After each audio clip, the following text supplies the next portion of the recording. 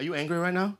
Now, I'm wondering why you're so angry. I'm not angry. I'm having a blast. This is a fun time. But we're not having a fun time. I think having we're a having a fun I'm time. having a You're great having time. a blast, but whenever you look at me, I see anger. I don't understand. I love you, why. dude. I kiss you on the lips right now, but you you, wouldn't do it because you're, you're weird about that stuff. Okay, all right. Bobby, good to see you. No, I, and I have to say that buongiorno. Okay, You know what I mean? okay, Buongiorno. okay. I'm shaped like a scallop. so I have to do what I can, you know what I mean? I'm like a fatter Pikachu. Oh, it's like in the A little sneak attack, you know? Less if Give me, just give me a kiss real quick. Just give me, mm, just give me a kiss real quick. Bobby's performing at the improv. What's up, guys? Welcome back to the channel. If you haven't heard, Bobby Lee just Barbra Streisand himself. This whole thing is pretty wild. There's so much to talk about. So, if this is your first video on this channel, you've come at the right time. And speaking of first timers, the last time I spoke to you guys just a few days ago, we were pushing for 80,000 subscribers. And now we're about to hit 90,000. You guys are unbelievable. I'm not quite sure what's going on here, but I'm always thanking you and I'm not going to stop. Hopefully, we'll hit 100K by the end of January. So if you're not subscribed yet, sort that out and join us as we push for 100 and beyond. And it's interesting because I think one of the reasons why we're growing so quickly is because people are just so sick and tired of all these two faced clowns, and finally there's a few of us actually calling them out, which has forced them to show their true colors. If you haven't heard of Too Lazy to Try, he's basically a YouTuber in a similar space to my channel. He's got almost 200,000 subs, so if you like my content, the chances are you'll probably like his. But last week he dropped a video covering the Bad Friends podcast with Bobby Lee and Andrew Santino. They had David Spade on as their guest, and Bobby Lee turned up 44 minutes late. When he finally turned up, you could tell Spade was a little bit dirty about it, even though he was joking around by saying, I've done 32 movies, 77 commercials, kind of as a low key flex to remind Bobby Lee of his place and that Spade isn't the kind of guy to keep waiting like that. He even said, This is your Super Bowl. Apparently, Bobby was the one who cancelled the Friday booking they had and pushed it over to the Monday, and then he still turned up late. And don't get me wrong, these guys are comedians. I'm sure they were just joking around and having a laugh about it, but keeping your guests waiting for almost an hour is pretty poor form.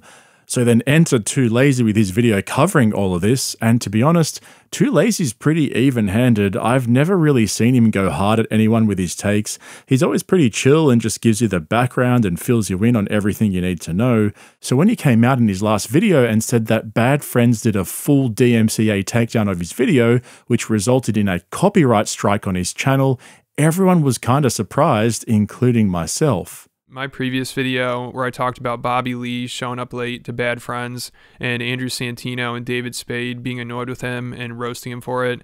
That video, they ended up doing a copyright takedown of it, so now I have a strike on my channel. And once again, with these comedians, nothing is off limits until you start talking about them. I mean, they love going on and on about how important free speech is and how bad censorship is and how people should have thicker skin and not get offended so easily. But then once you criticize them or make fun of them, and say something that they don't like and they get offended, instead of them just ignoring it or responding to it, they'll try to silence it, which I feel like is always just the worst idea. And some comedians, I think, know that and actually stand by what they say. I'm going to break this down for all you guys, explain exactly what's going on, why I think they took down Too Lazy's video, and reveal the gaping hole that they missed, which could potentially work out in Too Lazy's favor but I'm also going to show you some clips you might not have seen before, Bobby Lee being an absolute creep on live television, and I'll also say a few words about Bobby's Tijuana story, which I covered in detail previously. Basically, for a guy who's treading on thin ice, this takedown from Bad Friends is so hypocritical, and I'll show you exactly why. So stick around for all of that. But to start off with, for those of you who think it's funny or not a big deal to copyright strike someone's channel, you guys have to realize if you get three strikes, YouTube will delete your channel. And for a lot of us, this is our livelihood, just like it is for a lot of these comedians as well. So it always amazes me how people think this is funny and it's just a bit or whatever because they're comedians. But the response from Too Lazy subscribers was absolutely wild. If you go over to that episode of Bad Friends, basically the whole comment section has been completely taken over with people calling out Bobby and Santino for striking his channel. I've never seen anything like that before, and I guarantee you, Bad Friends were not expecting this kind of backlash. Trash. Even their latest community post plugging their Patreon got smashed in the comments, people calling them out and demanding they release Too Lazy's copyright takedown. And these people are not going to go away.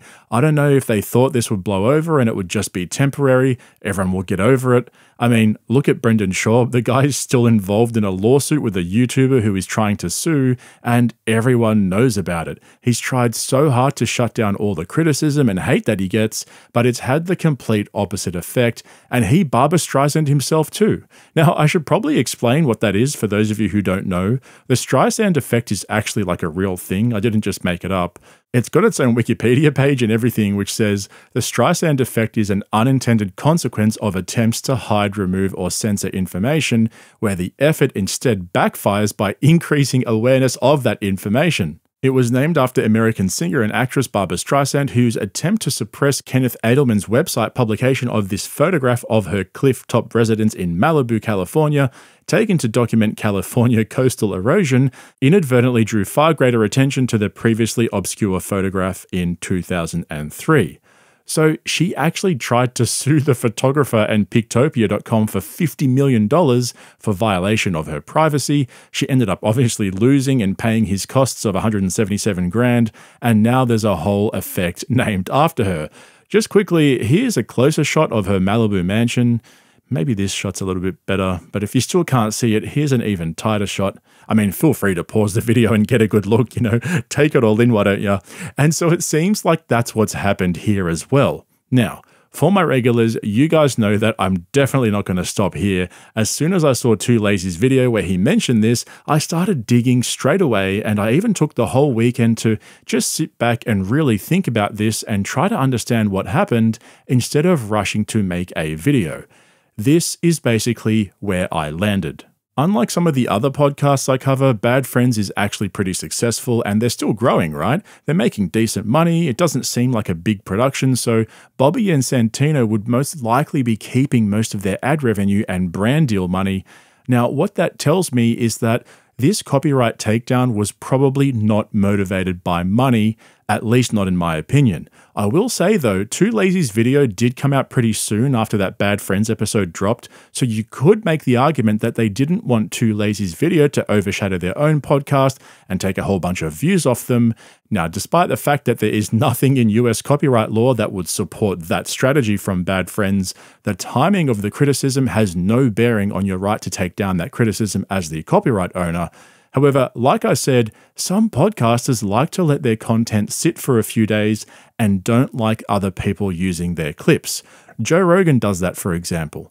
But think about this, right? There are many other videos covering the Bad Friends podcast, and I've never heard of them doing this before. So if they really were worried about losing views, wouldn't they do this regularly? And secondly, Too Lazy's video really only focused on the fact that Bobby Lee was late, so it's not like a substitute for the original work. In copyright law, this is referred to as the heart of the work. Now, once you remove money from the equation, it therefore seems plausible that the most likely reason for the takedown was Bobby Lee was probably having a bad day. He felt embarrassed about being so late for David Spade's appearance.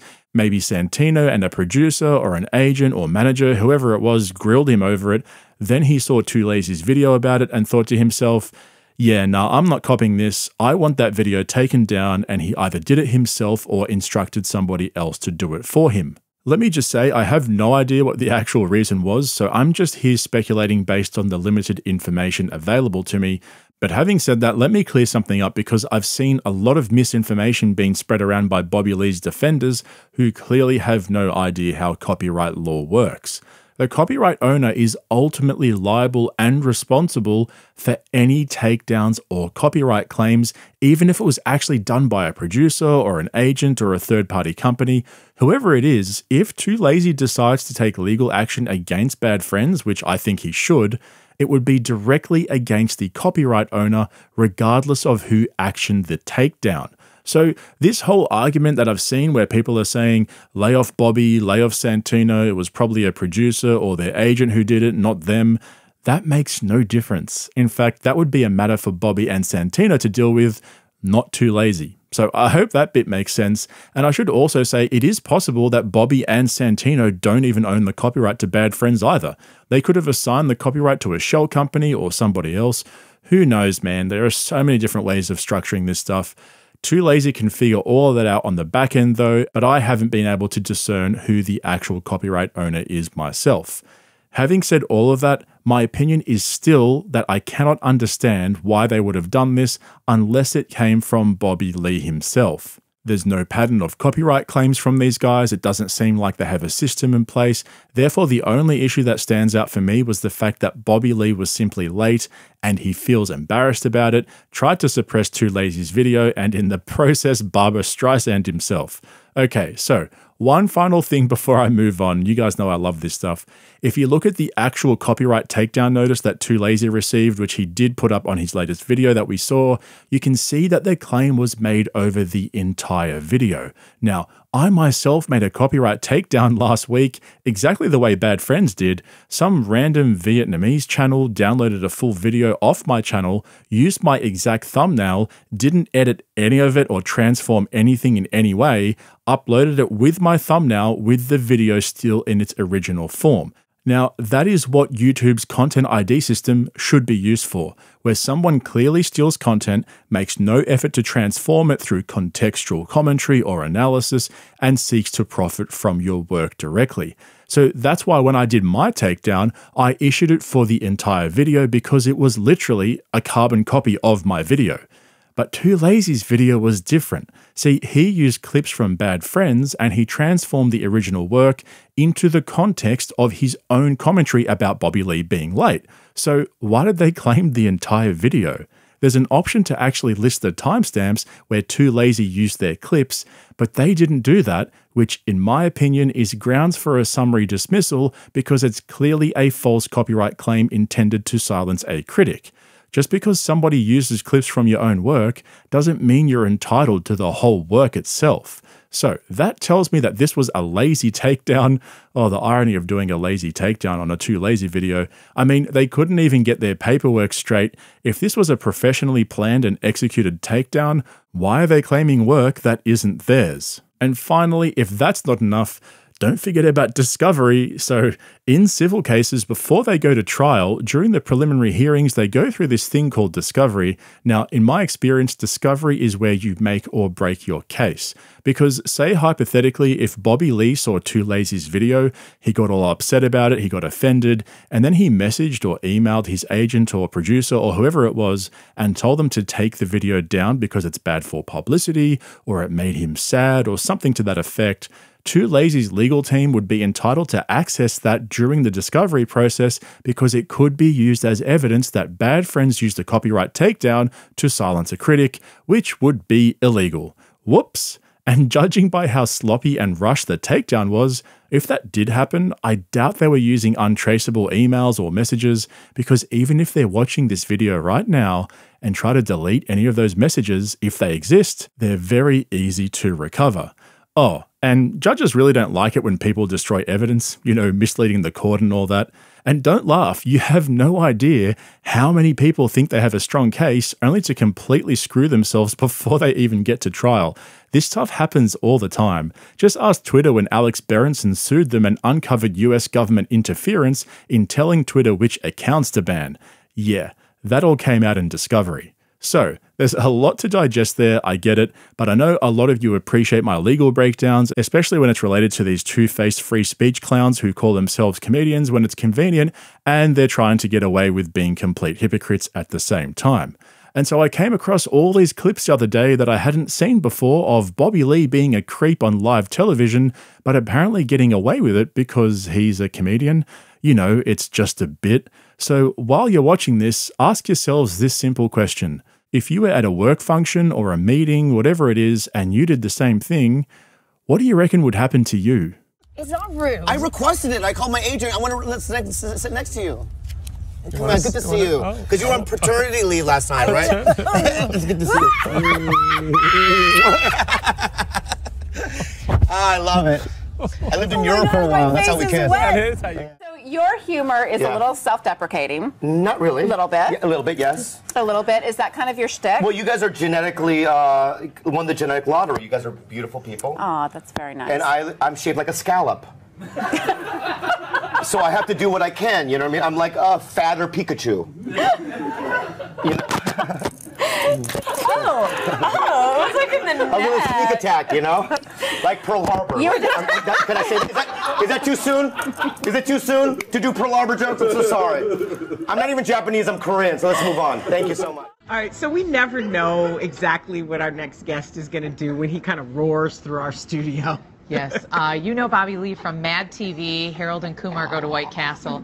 And this weekend he'll be in the Chicago area at the Improv to make audiences laugh. It is uh, a friend of the show. he can never quite get on this couch gracefully. Good morning. It's the one and only Bobby Lee. How are you, ladies? Yay! Clap, everybody, clap. Yay! I need it. I need it. We're also working on a movie called Rush Hour 4. Yes. Where we don't solve any crimes. We just eat donuts and stuff, right? Okay. Good to see you again. Hi. Is this TV? It is, TV. yeah. Oh, can I sit over here? You can sit over Sit there. over there. Wherever you like, wherever I you haven't feel seen most you so long. It's I good to stand see you. for You got so much. Oh, watch the watch the watch the public personal the space. public Nice effect. to see you. But you and I should do a movie, Rush Hour 4. if we're gonna go racial. I get to be. I get to Rush be. Hour 4 in space. I get to be. Chris, It's gonna be wonderful, right? Chris- You're not in it. You're out. We cut. We we wrote you out of the script. I'm Jewish. Oh, You you gotta are? find a place for me, yeah. Oh, But you can do all. You can produce it. I'll be here. I'll be here. What's the host's name again? Yeah. You know why? How many times have we worked together? Twice. No. And I haven't seen you in like five years. It's been more. It's been less than five Give me, years. just give me a kiss real quick. Just give me, mm, just give me a kiss real quick. Oh my God, Bobby, we love that. Love that show. I have a zit right here too. You're the one who needs to know see? I hate those. you can't see that. You can totally not see. Oh, I oh, see it oh. now. Oh, trick. I try to kiss. That oh, it works every time. Yeah, you, don't feel good? You want me to do it again? What am I? What? What? What? What? Where are you going? Do not Where are you kiss going? my Oh, all right. ankle, Okay, my okay. ankle bad. bone. My, my bad. I'm sorry. Come back. Everything's fine. Everything's fine, everybody. Everything's fine. Come back. I won't assault you anymore. No, I don't trust you. Why? Because I can see you From a jumping mile on away, me and I see you and- too. I see you too. It's just inadvertent, inadvertent, sweetheart. I'm sure you are. Did you just? I try to squeeze one in every year, and it never doesn't work. When you least expect it, I'm gonna Yeah, get yeah, yeah. I like open mouth kisses. I'm from Wait. Europe. Okay, wait. Listen. You're welcome, Bobby Lee. we love you. I love you. We love you so much. Uh-uh. Don't you try your I gotta tongue try, I over gotta here. try. So wait. It's the us- Korean hello. you go to Korea, that's what they do. They do. Oh, is that? Is that what they do? Okay. And it's cultural, but if you don't want to get cultural, that's fine. Push my people away even more. Or accept. Come back to the Come back to the seat. Come back to the seat. You're being so rude right now. Sit down. Sit down. Sit down. I apologize. My bad. I'm sorry. If you get up again, I swear to God, I'm never gonna come back here. Okay?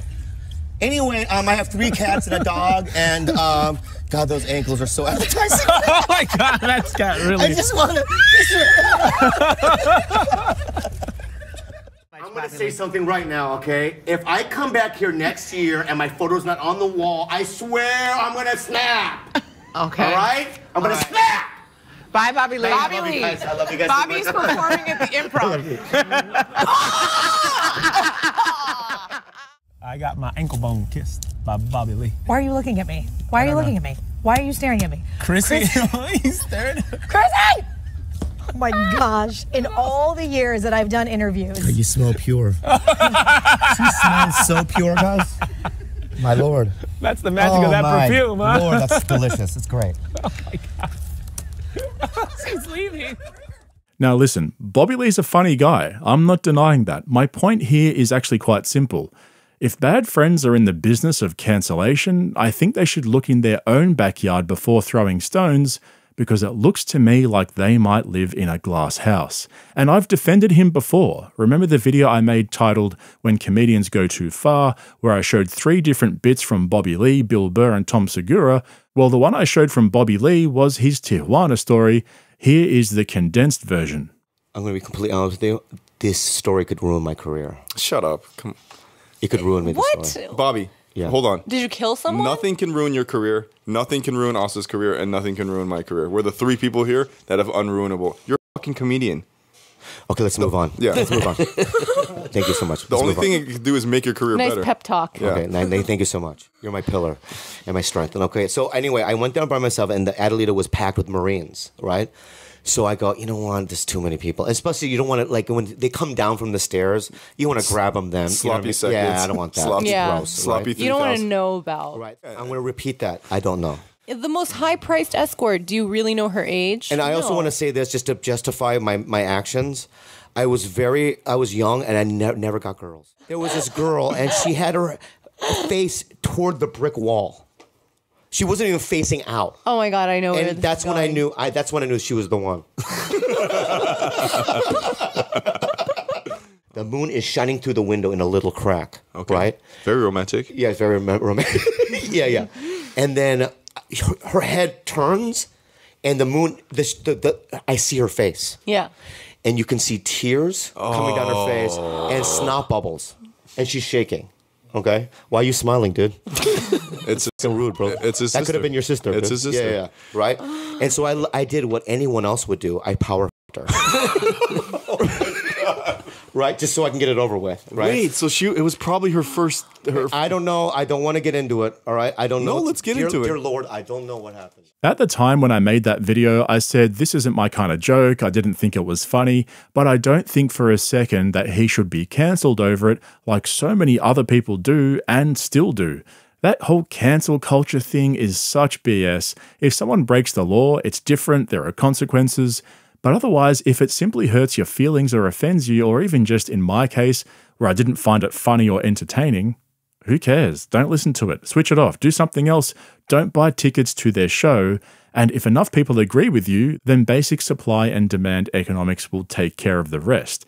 The problem is that a whole bunch of these comedians say and do stupid things like invading people's personal space on live television, trying to silence their critics by taking down their videos using false copyright claims, and then turn around and say, Hey, I'm just a comedian, it was just a bit.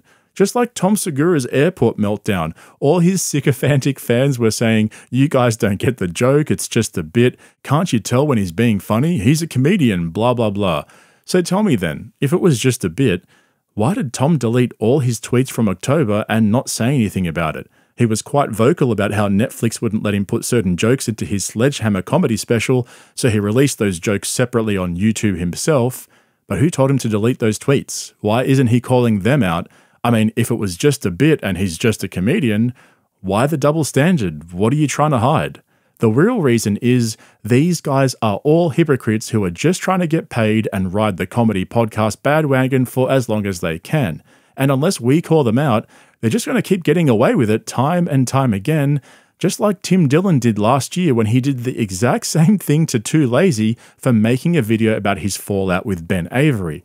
All his fans came out and defended him. It's all a bit. Tim admits he's a hypocrite. He's not hiding anything, blah, blah, blah. It's the same thing. Bobby Lee, Tim Dillon, and Tom Segura can be funny and still be cowards at the same time. Both things can be simultaneously true, but you can't claim to be a free speech absolutist and then try to silence a critic for hurting your feelings. Anyway, these are just my opinions. I hope you found this video as interesting as I did. Let me know what you guys think about all of this in the comments below. And if you haven't subscribed yet, consider jumping on board so you don't miss out on any of my future uploads. That's it from me. I'll catch you in the next one. Yeah, you raped a 12 year old girl, dude. You raped a 12 year old girl. You 12 year old girl in Tijuana. You told this story four times. Four times, dude. You raped a 12 year old girl in Tijuana. You raped a 12 year old girl in Tijuana. I didn't. Twelve year old girl. Yeah, you you did, dude. You No, told this story four times. She was 12, dude. That was the age you said. No, I not- she I was not- f***ing 12, dude. 12 year old girl in Tijuana. No, I didn't.